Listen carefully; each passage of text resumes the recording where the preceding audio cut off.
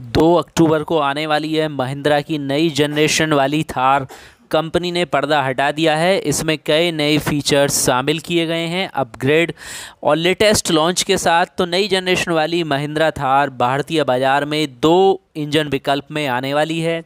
इनमें ग्राहकों को बी एस सिक्स कंप्लेंट वाले 2.2 लीटर का एम हॉक डीजल इंजन और 2.0 लीटर का turbocharge M Stallion petrol engine मिलने वाला है।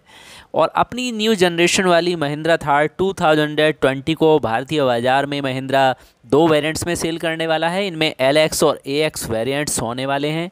और फ़र्स्ट टाइम इसमें आपको पेट्रोल इंजन मिलने वाला है। टर्बो पेट्रोल के साथ यानी कि मैक्सिमम पावर मिलेगी, जिसमें 150 bhp की और 320 nm का जिसमें टॉर्क मिलने वाला है।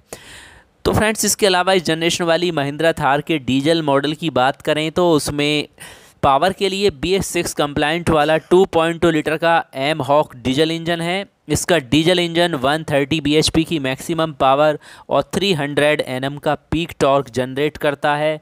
और अगर आप बात करें इसकी प्राइस की तो अभी प्राइस के बारे में कंपनी की तरफ़ से कोई ऑफिशियल सूचना नहीं है और इसका ऐलान भी दो अक्टूबर को होने वाला है। हालाँकि इसकी बुकिंग भी दो अक्टूबर से ही स्टार्ट होने वाली है, तभी इसके बारे में ज़्यादा डिटेल्स आपको मालूम पड़ पाएँगी।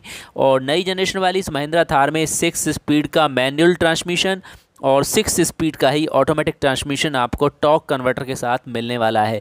तो ये है कुछ डिटेल्स जो न्यू गाड़ी, ये पावरफुल गाड़ी लॉन्च होने वाली है। आपको महिंद्रा थार कैसी लगती है देखने में कमेंट्स बॉक्स में लिखिए। इसके अलावा अगर आप किसी गाड़ी का रिव्यू देखना चाहते हैं अपनी चॉइस के अनुसार तो वीडियो के कमेंट्स बॉक्स में जाकर आप लिख सकते हैं। और आपको गाड़ी ये कैसी लगती है, ये अवश्य लिखिएगा। और साथ ही आप महिंद्रा की कौन सी गाड़ियाँ पसंद करते हैं पावरफुल सेगमेंट के अंदर, हालाँकि काफ़ी गाड़ी आती हैं।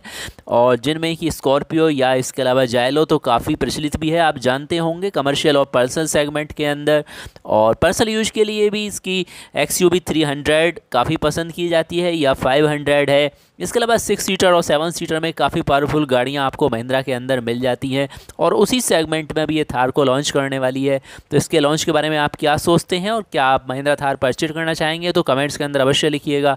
और साथ ही अगर आपकी कोई क्वेरी है तो अवश्य लिखें कमेंट्स बॉक्स में और हम मिलेंगे इसी तरह की लेटेस्ट इन्फॉर्मेशन के साथ। अगर चैनल पर नए आए हैं तो चैनल को सब्सक्राइब करें। इसी तरह की लेटेस्ट ऑटोमोबाइल्स की इन्फॉर्मेशन के लिए साथ ही शेयर करें अपने सभी फ्रेंड्स के साथ। नमस्कार दोस्तों।